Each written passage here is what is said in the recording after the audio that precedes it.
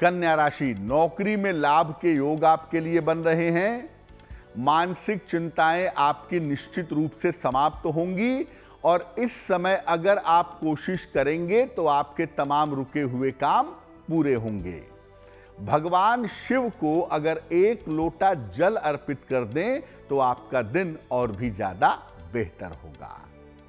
शुभ रंग होगा समुद्री हरा सी ग्रीन और भाग्य का मीटर आपको नंबर दे रहा है 90 प्रतिशत। सबसे ज़्यादा भाग्य आपके साथ बना हुआ है।